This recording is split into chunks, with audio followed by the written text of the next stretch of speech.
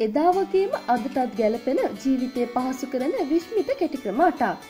මේ වගේ වැටගත් වීඩියෝ බලන්න අපේ YouTube චැනල් එක සබස්ක්‍රයිබ් කරන්න. කුඩා සේනුව කලික් කිරීමෙන් අපි වීඩියෝ දාපු ගමන්ම ඔබට දැනගැනීමට පුළුව. අපි ඉගෙනගන්න සමහර දේවල් පරම්පරා ගණනාවකටම වැදගත් වෙන්න පුළුවන්. කොටින්ම කිව්වොත් ඒවා හැමදාටම වලංගු වෙනවා. ඒ වගේම සමහරක් පොඩිපොඩි දේවල් අත්‍යවශ්‍යම වෙලාවල් වලදීත් වැදගත් වෙන්න පුළුවන්. අපි පොඩිකාල ඉගෙනගෙන තිබෙන ඒත් දැන් අමතක වෙලා තිබෙන ජීවිතයට ගොඩාක් වැදගත්වන අපූරු දේවල් කීපයක් යළිත් ඔබට මතක් කර දෙන්නයි අද අපි මේක සූදානම් වන්නේ. ඉර බහින්නතා කොපමණ වේලාවකින්ද දැන ගැනීම. ඇගිලි පහ එකට තබාගෙන දබැරැගිල්ල සහ මාපට ඇගිල්ලේ තුඩ අතරට සූර්යායන විදිහට අත සූර්යා දෙසට දිගු කරන්න. ඉන් පසු දබරැගිල්ල ඉඳන් ශිතිජය දක්වා තිබෙන ඇගිලි ගණන ගණන් කරන්න. එක ඇගිල්ලකින් දල වශයෙන් මිනිත්තු පහලවත් දැක්වේ ඒ අනුව මිනිත්තු පහලවයි. ඇගිලි ගණනෙන් වැඩි කරාම ඉර බහල යන්න තව කොපමණ වෙලාවත් තිබනවද කියලා ඔබට පහසුවෙන්ම සොයාගන්න පුළුවන් වෙනවා. මාසකට තිබෙන දින ගණන දැනුම් කර ගැනීම. අත මිටි කරලා පිටි අග්‍රේ තිබෙන ඇඟිලිවල උස් පහත්වීම් සංඛ්‍යාව ගණන් කළොත් මාසෙකට තිබෙන දින ගණන පහසුවෙන්ම දැනගන්න පුළුවන්. මෙතනදී අපි මාපට ඇඟිලි ගණන් ගන්නේ නැහැ. උඩට ඉස්සලා තිබෙන එක් ශීර්ෂයකින් එක් මාසයක්ද ශීර්ෂ දෙකක් අතර තිබෙන පරතරයෙන් තවත් මාසයක්ද එන විදිහට තමයි ගණන් කරන්න ඕනේ. මේ ශීර්ෂවලට වැටෙන මාසවලට දින 31ක් තිබෙනවා. පරතරවලට වැටෙන මාසවලට තිබෙන්නේ දින 30යි. එක අතක ගණන් කරලා ඉවර වුණාම අනිත් අතේ දබරැගිල්ලේ ශීර්ෂයෙන් පටන් අරන් නැවතත් ගණන් කරන්න පුළුවන්. මේ විදිහට මුළු මාස 12ම දින ගණන ඉතාම ඉක්මනින් සොයාගන්න පුළුවන් වෙනවා.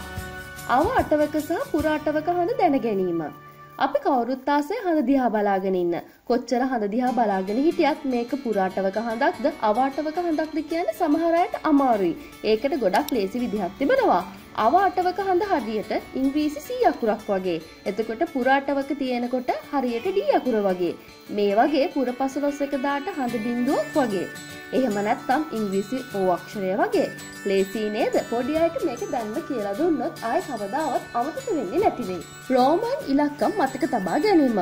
රෝම ඉලක්කම් මතක තියාගන්න එක සමහර අයට හරිම අමාරුයි. ඒත් අපිට හම්බුණා ලේසි ක්‍රමයක්. මේ සිංහල වාක්‍ය පෙරිය මතක තියාගත්තොත් රෝමන් අකුරු කවදාවත් අමතක වෙන එකක් නෑ. ඒ තමයි මගේ ඩක්කු සීට්ටු ලතා එක්ස්රේ වල ඉන්නවා. හැම වචනයකම පළවෙනි අකුරින් කියවෙන්නේ 10 ඉඳලා එකට තියෙන ප්‍රධාන අංකවලට තමයි රෝමන් අක්ෂර. ඉහත වාක්‍ය රටාව මතක තියාගත්තම රෝමන් ඉලක්කම් වලට අදාළ ඉංග්‍රීසි අකුරු අමතක වෙන එකක් නෑ නේද? ඒ කියන්නේ M 1000, B 500, C 100, L 50, X 10, V 5, I 1. මේ විදිහට තමයි අපි කිව්ව පළවෙනි අක්ෂරයෙන් එන විදිහට මේ දේවල් ගලපගන්නේ. හොඳ සහ නරක බැටරි වෙන් කරලා හඳුනා ගැනීම. එලියෙන් බැලුවම නම් බැහැපු බැටරිය සහ හොඳ බැටරිය ඔක්කොම එක වගේ. ටෝච් එකක් වගේ දෙයකට දාලා බලනකම් හොඳ නරක හඳුනා ගන්න එක හරි අමාරුයි. ඒත් අපි ගාව ඒකට ක්‍රමයක් තියෙනවා. ඒ තමයි බැටරි දෙකම කෙලින් අතර තියලා සෙන්ටිමීටර් එකක් හෝ දෙකක් විතර උඩ ඉඳන් පහළට වැටෙන්න සලස්වන එක. නරක බැටරිය වැටුනම දෙතුන් වතාවක් බම්ප් වෙලා පෙරලිලා යනවා.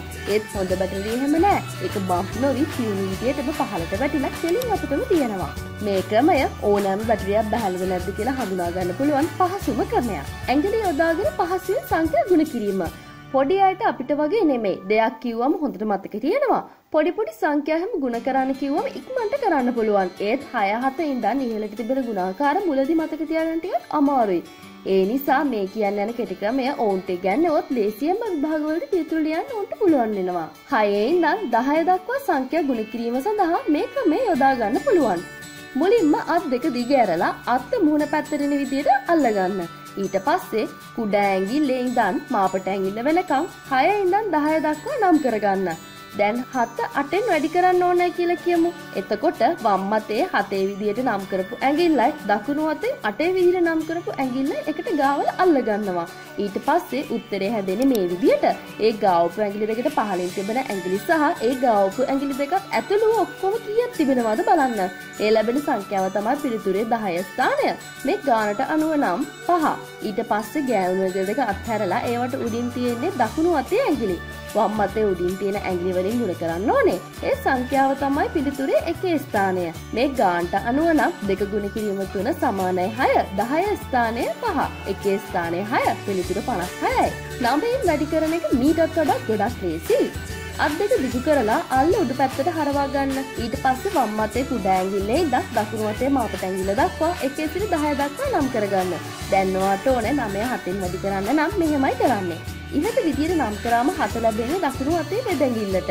ඒ වෙදැඟිල්ලට වම් පැත්තෙන් තිබෙන ඇඟිලි ගානෙන් පිළිතුරේ 10 ස්ථානය ලැබෙනවා. ඒ කියන්නේ 6යි. වෙදගිල්ලට දකුණු පැත්තේ තිබෙන ඇඟිලි ගානේ පිළිතුරේ එකේ ස්ථානය ලැබෙනවා. ඒ කියන්නේ 3යි.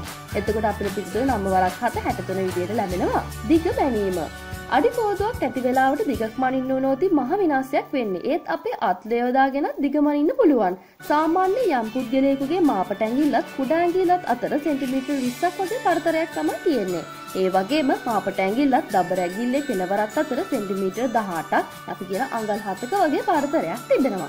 හැමෝටම හරියන්න මෙහෙම නෑ.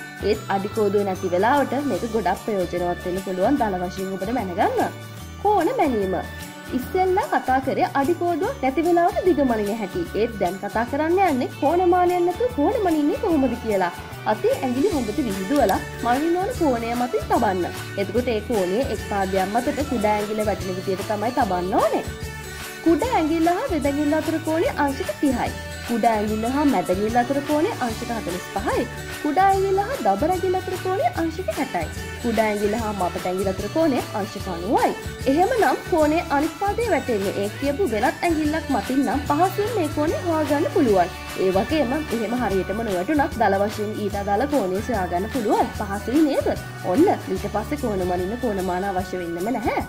ඉතින් මේ දේවල් වලින් ඔබ යමක් ඉගෙන ගත්තනම් ඔයාගේ යාළුවන්ටත් බලන්න මේ වීඩියෝ ෂෙයා කරන්න.